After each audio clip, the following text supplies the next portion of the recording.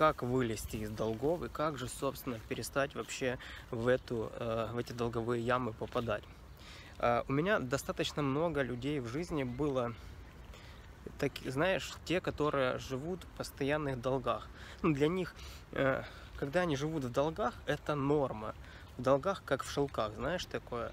То есть, когда у тебя есть большой кредит, и ты, э, ну, ты, в общем, постоянно перебиваешься от кредита к кредиту. Понятное дело, что с каждым годом, с каждым днем твои долги просто увеличиваются.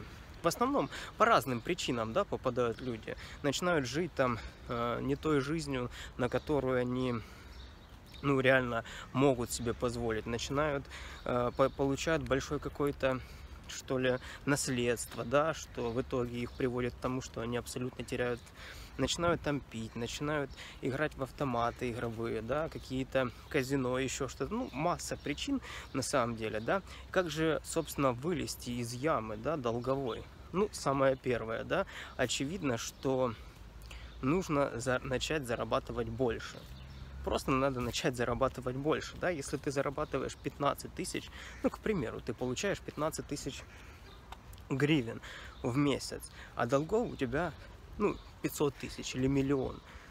Ну, понимаешь, ты никогда не вылезешь с этих долгов. Тебе просто надо начать зарабатывать по 50, по 100 тысяч. Находить такие лазейки, где ты будешь зарабатывать законным путем. Почему так, почему так происходит? Да? Почему, если ты не поднимешь свой ежемесячный доход или ежедневный, кому как удобно, ты не вылезешь с долгов, потому что тебя постоянно будут э, тревожить, тебя постоянно будут вытаскивать из зоны комфорта, ну, люди, которым ты должен, или банки, или еще что-то, и ты постоянно будешь понимать, что сколько бы ты ни зарабатывал, ты, ты все равно тебя будут окружать враги, так называемые, да, бывшие друзья, бывшие там, я не знаю, хорошие знакомые, а нынешние люди, которые тебя э, терроризируют, чтобы ты отдал деньги.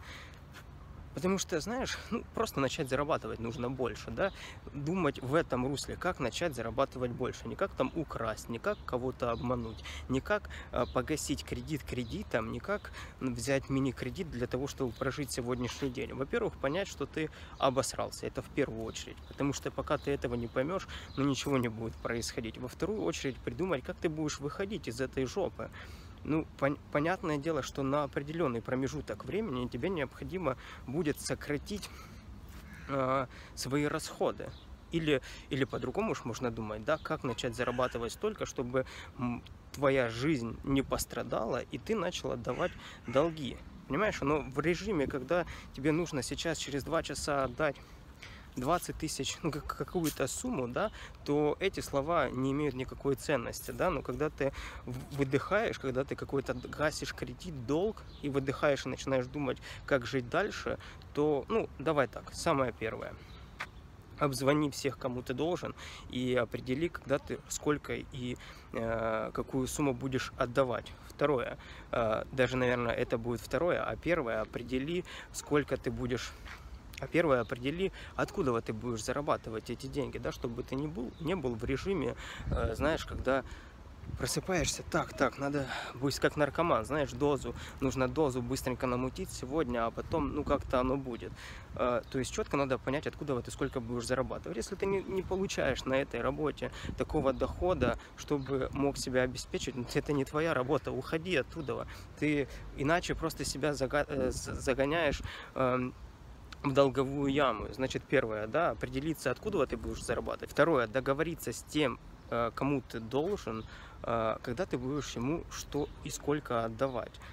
Третье, третье, собственно, внедрить эту систему в жизнь. Отдавать по 5 долларов, по 10, по 100 долларов, да, начинать рассчитываться, потому что сегодня это для тебя будет казаться, ну, что такое 5 долларов, да, в неделю отдавать, к примеру а в месяц это 20 долларов. Наверняка, если ты в долговой яме, то у тебя есть вредные привычки. Наверное, прям нулевой уровень поубирать от себя эти все негативные привычки и тогда жизнь твоя наладится.